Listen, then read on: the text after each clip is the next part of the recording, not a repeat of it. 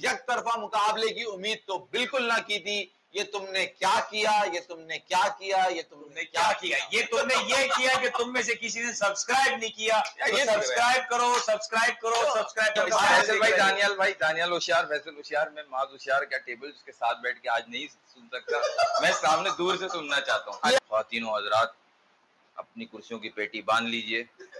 बहुत ही भारी किस्म का टेबल आने वाला है। मैं अभी बताता हूँ मैं क्या होने वाला है। ये बात फैला दे कि आईसीसी के टक्कर में चार होशियार का टेबल आ गया है। अच्छा जी अब सिचुएशन क्या है राइट नाउ ये है टीम ऑस्ट्रेलिया बच्चों क्लास स्टार्ट हो चुकी है। जी सर जी सर। ये है जी ऑस्ट्रेलिया और इसके पॉइंट है दस। ये है अफ़गानिस्तान राइट नाउ इनके पॉइंट है आठ। रहा साउथ अफ्रीका राइट नाउ उनके पॉइंट है बारह और न्यूजीलैंड खड़ा हुआ है आठ पे। पाकिस्तान का तो सबको पता है कि हमारे आठ पॉइंट है। हमें मालूम है सब चार को मालूम अच्छा हम शुरू वहाँ से करते हैं।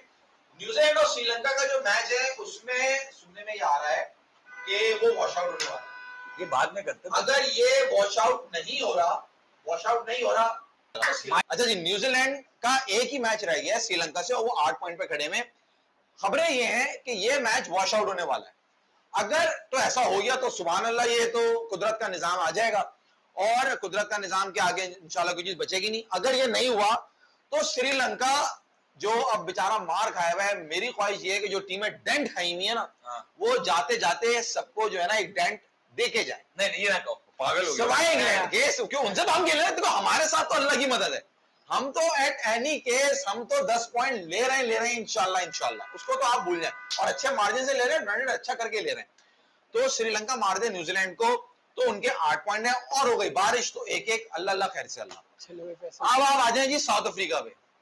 साउथ अफ्रीका अफ़गानिस्तान को अपना मैच मार के अपनी पोजीशन अपने पॉइंट चौदह करके अपनी पोजीशन सिक्योर करेगा।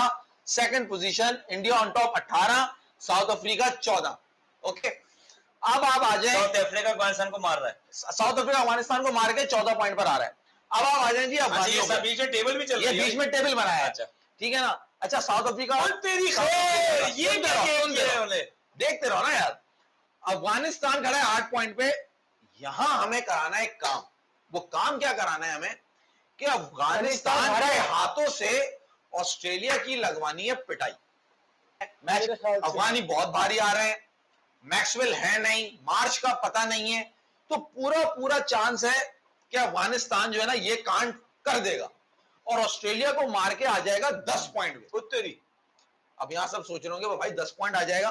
खड़े मुंबई में। वैन खड़े मुंबई में। मुंबई में बहुत एक्सपीरियंस है अफगानी प्लेयर्स का खेलने का ये मैं आपको बता दूँ। राइट right नाउ जो ये नेट रन रेट है ना ये है अफ़गानिस्तान का which is minus zero point three three zero ये ऑस्ट्रेलिया को मार के अगर इन्होंने लेवल कर भी लिया तो साउथ अफ्रीका से तो हार रहे हैं। मगर पॉइंट इनके हो जाएँगे दस और इनका रन रेट जो है ना वो इधर ही कहीं होगा, खड़ा हुआ minus zero point three three zero पे। और पॉइंट है इनके दस। अब आ जाओ ऑस्ट्रेलिया पे। ऑस्ट्रेलिया के हैं दस पॉइंट अब हमें किसी तरह से जो है ना ये अनहोनी करानी है कि अफ़गानिस्तान से तो हम पिटवा रहे हैं। ये जो बंगाली है ना, बंगाली, अगर ये कोई करिश्मा कर दे और ऑस्ट्रेलिया को मार दे तो ऑस्ट्रेलिया भाई खड़ा भाई को चक्कर आ गया और भाई वहाँ गिर गए।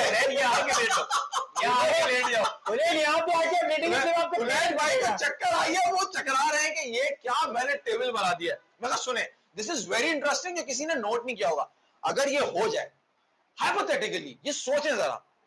बंगालियों ने अगर मार दिया ऑस्ट्रेलिया को ऑस्ट्रेलिया ना पॉइंट ले पाया और अफ़गानिस्तान तो ये कर सकता है ना इसको तो ये मान रहे हैं कि ये होनी है। ये अनहोनी भी तो हो सकती है। अबे इनका रन रेट एक सेकंड ना। में मैच है। जो भी है। चूने लगेंगे टेबल को। अभी पता चल जाएगा। खबर तो करे यार। इनका रन रेट है zero point nine two four Afghanistan से हारे आधा हो जाएगा। बंगालियों से हारे ज़ीरो पॉइंट ज़ीरो ज़ीरो पे आ जाएगा। इनका run rate zero point zero zero हो जाएगा।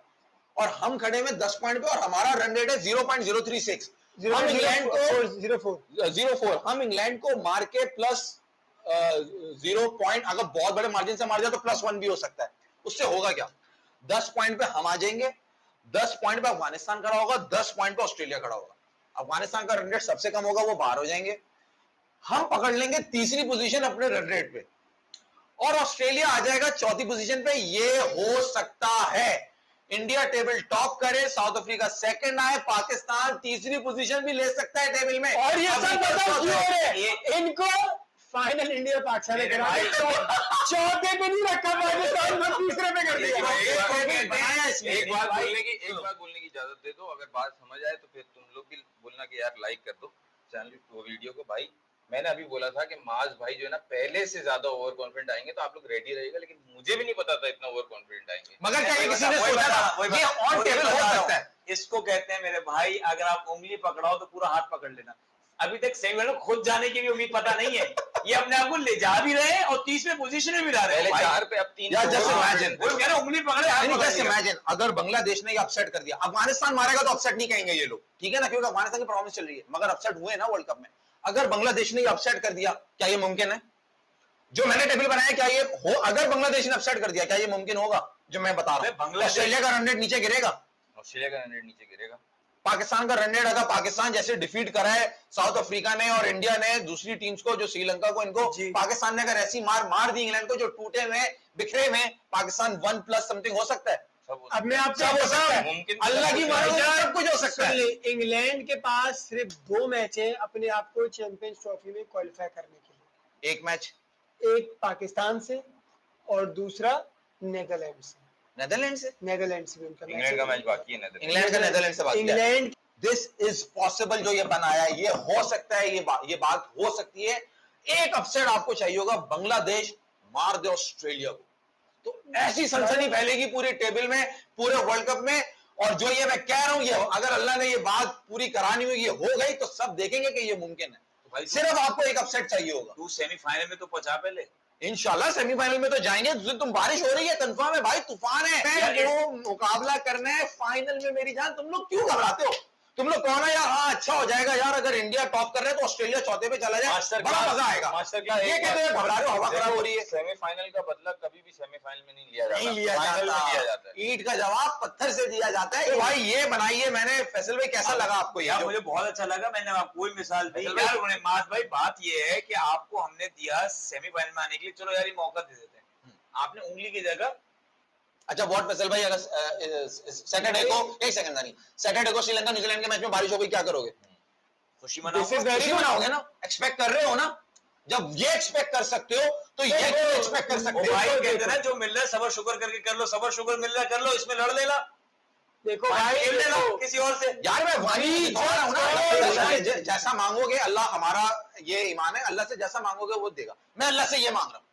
खत्म हो गई बात। यार चार होशियार सोचो क्या मंजर होगा क्या माहौल होगा क्या मज़ा आएगा जब अहमदाबाद में मेला लगेगा Pakistan versus India World Cup final for the very very first time जो माज भाई की टेबल से मैं समझाऊं जो एक रास्ता यहाँ निकाला जो एक रास्ता वहाँ निकाला उसका मतलब ये है कि इनको तीसरे नंबर पे किसी तरह आना है मौजों पे मौजे करवाने तो हो जाएगा भाई। आप बस इस पे इस पे फोकस करें। Pakistan versus south Africa